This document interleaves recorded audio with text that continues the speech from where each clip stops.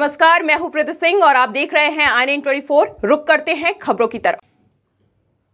महतारी वंदन योजना की सात तारीख को किस्त मिलने का इंतज़ार कर रही प्रदेश के सत्तर लाख से अधिक माता बहनों के साथ शायद सरकार ने धोखा किया है। पहले फॉर्म जमा करने की सीमित तिथि बताकर प्रदेश भर के माता बहनों को हलाकान किया गया, परेशान किया गया।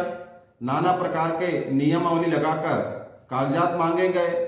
आधी आधी रात को बैंक के आगे केवाईसी के लिए उनको खड़ा होना पड़ा।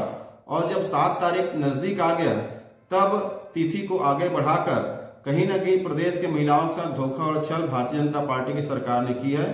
असल मायने में मोदी की इस गारंटी को पूरा करने में शायद सरकार के पसीने छूट रहे हैं। इसलिए वो महिलाओं को सिर्फ़ तारीख पे तारीख दे रहे हैं। उनका किस्त जमा करने से पीछे हट रहे हैं और भाग रहे हैं। ये सरासर धोखा है। ये प्रदेश के महिलाओं के साथ अन्याय है।